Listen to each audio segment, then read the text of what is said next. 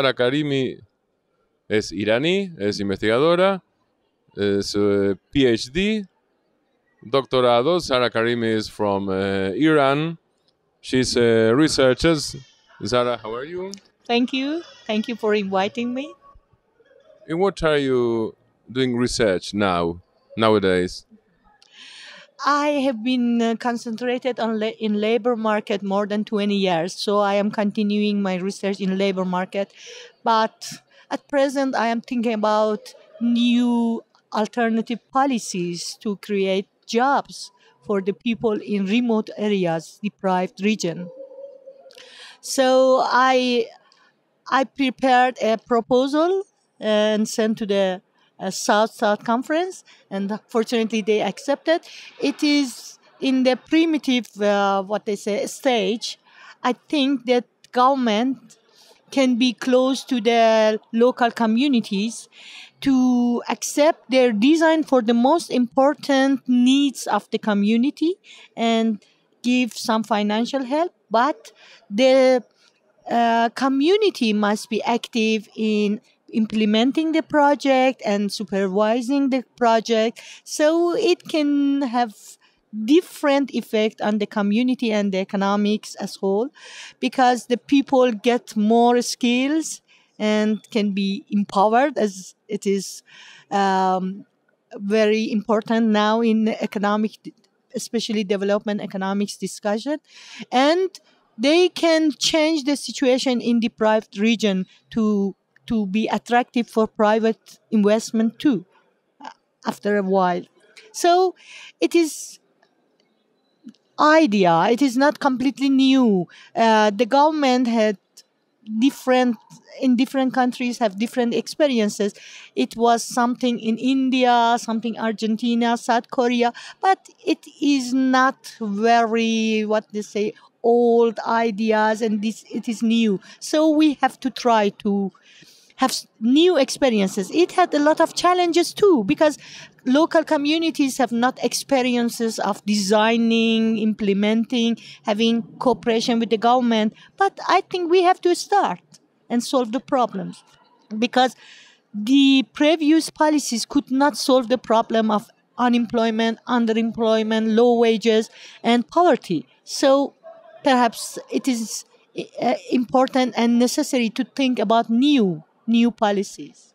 Which will be a new policy for especially poverty? You know, I don't want to think of only for poverty because in my country at present we have the program of cash transfer, but it cannot eliminate poverty. Every month the people are waiting for the cash to come.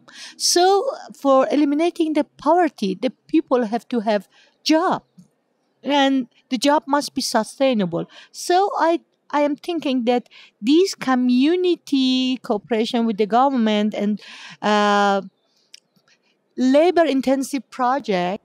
Do you think that you want specialized policies to fight poverty? Certainly, I think that the aim of any policy is better well-being, higher standard of living, welfare. But I do not like to think about cash transfer because these cash transfer policies uh, cannot eliminate poverty. Every month the people are waiting for the money and poverty is there. So we have to think about creation, job, and sustainable job. Perhaps this policy for projects that are necessary for communities in different regions can be uh, what they say transitional. But we have to start somehow. And if we can create with these projects infrastructure, higher skills for the communities, it can be attractive for the private money to come and create sustainable growth there. So all the policies who are somehow related to employment and job can be directly and indirectly related to poverty eradication in long run. When you speak about uh, community, you speak about small communities, about villages, or you speak in general about community as, as a basement of the society? Mm -hmm.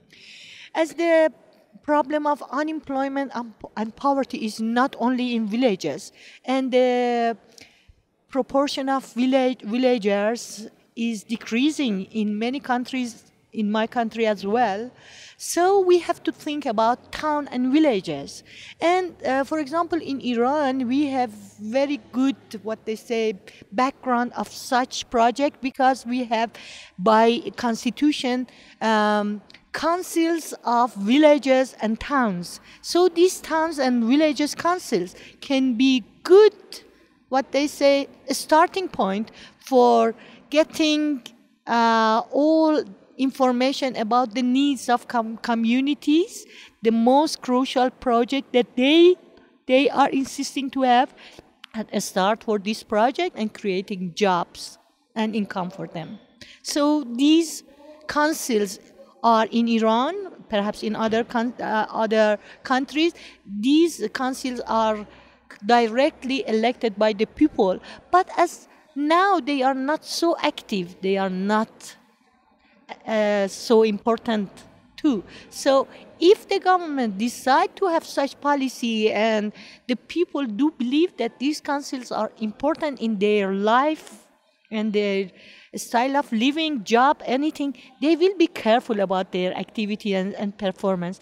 So I hope if the government uh, decide to think about alternative policy, it can create some uh, activities in villages, in towns, and really vitalize these uh, councils. Give me, please, an example of alternative policy. I told you, for example, in my country, development policies are very have very long histories. Uh, they go back to 19, yeah, 40s, 50s. We have 60 years of history of planning in Iran. So we have had development planning and development project by government. You, you are, sorry, the era of Mossadegh? Uh, yeah, planning goes before Mossadegh. Yeah, and it uh, continued just before revolution and after the Islamic revolution. We had uh, during Iran-Iraq war this planning stopped, but again they, we started planning, and in this planning, government development projects are really very important. But these projects are top-down and decided by the government and implemented by the government. So there is no connection between the people in different. No feedback. No feedback, no supervision, no what they say active presence. So, uh, and they are not so interested. Perhaps there is uh, water canals. The government um, construct and uh, give it to the I don't know, government official in this in a certain part of the country.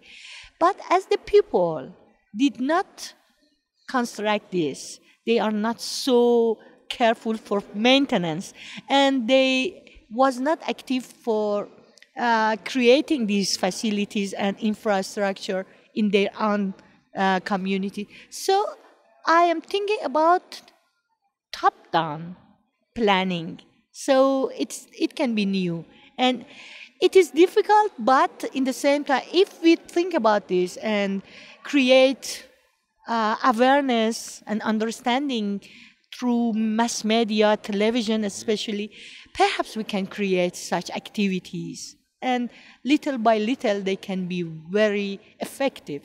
It is some alternative planning. I have read uh, in the New York Times a column of Thomas uh, Friedman, the columnist of the New York Times, about Iran. Mm-hmm. And he wrote that Iran has now an opportunity and a challenge. Mm-hmm. And he said it was nature, because the population of Iran is now uh, about uh, 75 million. Yeah. In general, the world doesn't know it. It's not 40 million, it's 75 million. Yeah. So he says, they have they you have new challenges and new uh, opportunities opportunities how do you view it uh, unfortunately, I didn't read. I, I didn't read it. But really, in Iran, we say that we have a lot of opportunities and challenges. If we can solve international and internal problems and use all the resources and our young population, highly educated and interested to change the economy and push forward the country. If we can use this what energy, we can go ahead. If we cannot use it, it can get dis- destructive. A lot of youngsters wants to have good job. They expect good life. And if we cannot move the economy, this opportunity can change to threats to the economic and political and social life of the country. And for example, drought is a threat for Iran? Yes, it can be. Because Iran generally is located in a region that is not plenty of raining. So we have the problem of water for, for agriculture, for sanitation, for drinking, everything. And it needs also uh, very careful projects all over the country. And mm, the alternative policy can be helpful. And also it needs cooperation regionally. So it is not only iran because uh, the source of water comes from neighboring countries. And we have to have some agreement about the water. And it is uh, perhaps very important argument that in the Middle East, water can be a very important source of conflict in the near future. So internally we have to be very careful and externally in the region we have to be active for solving the problem before it it become very critical. Because common knowledge about Middle East and general of the region is that uh, the key point is oil. You are talking about water. I think uh, discussion regarding water is increasingly in the region. Okay, oil is there, and the price of oil is important. The mm, policy for using oil for development is very important. There are different ideas, different beliefs. For example, in my country, when we have different government, we have different policy regarding oil revenues. So uh, oil is very important. We cannot neglect it. But water is also very important, and environment is very important because. Uh, all countries in this region is trying to keep the water and created a lot of dams in different parts. And because of them, the previous environment is changing, and this, it is the risk of uh, what the dry lakes. In my country, it is very important now.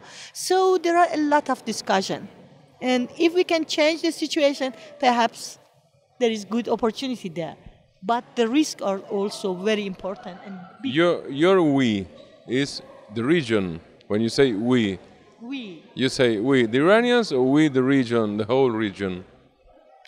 Uh, I think many problems, many opportunities and risks and threats uh, are common between Iran and our neighboring countries. So when I think about Iran, okay, we have we have to do many things in my country, but it is not enough. And it is the same. I like the idea of uh, European Union okay, it is not easy in my region, but for a very, what they say, urgent problem like water, we have to think uh, in common, uh, I don't know, meetings and have common decision. I hope so. Which was your experience here in uh, Santiago de Chile with the CLACSO, the South South meeting? Mm. You know, uh, this meeting was very interesting for me and I hope to be accepted. So I wrote carefully and prepared all the documents that uh, was required. So uh, it was really very excellent opportunity for me to be here and i uh, i learned a lot really i i can tell you uh, there were a lot of discussion about many many important issues that perhaps it is related to different countries but mostly are in all sort, sort all region of Asia, Africa and Latin America. And I think that uh, such gathering create networking not only one week here so perhaps we can continue for example i i told uh, i uh, talked with uh, colleague from bangladesh that we can cooperate regarding something labor markets especially regarding women in labor market in Bangladesh and Iran. What are the similarities and differences? Because Bangladesh and Iran are two great Muslim countries, highly populated, but very different regarding women in labor market. So, which are the, the, the specific conditions in Iran regarding labor market and women? Which are they? Uh, you know, uh, some problems are really global, but in developing countries perhaps can be worse. Especially the problem of jobless growth. Perhaps you, you know that it is very important nowadays in economic debate. So in recent years, the number and the number of women in universities and higher education is increasing. So they are interested to be active in labor market. And because of two elements the uh, active population active in labor market uh, population in Iran has increased very rapidly. One was baby boom in 1980s, and the other is increasing proportion of women in labor market. So we had high growth of supply the person who are interested to go in the labor market, but the growth of demand is not sufficient. So when the economic growth, the growth rate is low, the problem of unemployment, underemployment, and informal employment, low wages, is as, as uh, accelerating in many countries, in Iran as well. So we have the problem now. When you compare uh, Iran and uh, Bangladesh, mm. you said that you mentioned the Muslim uh, criteria or issue. What is the difference uh, of the incidence of uh, the Muslim issue in the labor market regarding women? I am interested in this subject. Why? Because there is this imagination that if women uh, participation rate in Iran is low, it is related to Islamic belief. But I do not believe in it. Uh, and because of this, I considered Bangladesh a very traditional Muslim country. I believe that Bangladeshi people are more what they say traditional Muslim people compared to Iranian highly educated people. But in Bangladesh, the participation rate of women in labor market is much higher. So it is a good example that Islam is not the case. And I was interested to know. You know, there are a huge investment in garment industry in Bangladesh. And millions of girls and women from traditional family in different parts of the country goes to this factory to work. So they are more traditional. But if the family household is so poor and needs their income, so they accept the girls go to the factory far from their uh, towns and villages to work. But in my country, because of oil, at first wages are much higher. It is not comparable to Bangladesh. And the other is that our international relation have some problem.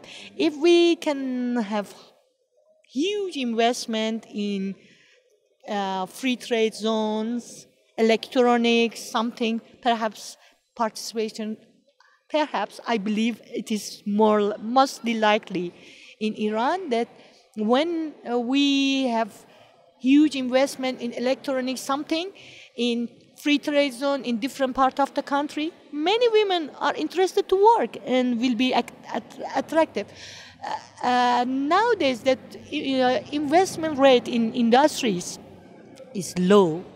Many educated women cannot find good jobs and go to their own houses and waiting. And uh, in census are inactive population. So i believe that economic structure is more important than traditional belief and religion belief Why did you begin with uh, your research or your career? Why? Which was the purpose or the origin or, I don't know, the mystery? uh, why I started my research. You know, uh, employment and labor market problem is one of the most important. So there, I think that the number of researchers in this area is increasing in all countries because if we want to be uh, what they say realistic not something in the air. We have to think about the urgent problems, to think about the possible solutions, policy, alternative policies. So uh, I decided to write my master thesis about, um, do you know, structural, structural adjustment policies and labor market. So I started my dissertation in 1990s and I continued by now. The paradise of, of those policies. Yeah, and you saw in many countries they had a lot of promises that uh, market forces will solve all the problems, and they dis- destroyed many countries' economic structure without replacing better pattern. Which is the level of change of the new government of Rouhani if you compare it with the government of Ahmadinejad? I think that Rouhani is realistic president. He knows what are the challenges and what are the possibilities. Uh, the previous government was really idealistic, uh, have something in his mind that was not true, you know. All the time, because of uh, President Ahmadinejad, I believe that had something vague in his mind and created a lot of useless challenges. So Iranian people really are peaceful people, and, and we have a lot of problems that we have to solve in our country. So we want good relation with the world, and this new government. Uh, from the beginning said that we will try our best to solve all the challenges with uh, we, uh, within our international relations with other countries. So we are very hopeful for the future. And the first step in United Nations and discussion with uh, five plus one regarding atomic energy debates, I think have been very good steps forward. So we are, for example, me, are full of hope for the future. You can say that uh, the process of um, Rouhani will be a transition in political terms. Uh, as uh, we want to say transition, we had before also during President Khatami, before Ahmadinejad, we had the same policy. Uh, try to solve the problems with different countries, prevent any new tension. So, if we want to go uh, to say transition, yes, we want to go back. You know, uh, the pre- uh, previous president uh, invite all people, all nations for dialogue among civilization, dialogue among nation. So we we are the same, and I think these eight years was some stop, some period that we do not want to repeat again. Zahra, thank you very much. You are welcome. Thank you. Zahra Karimi from uh, Iran. Thank you.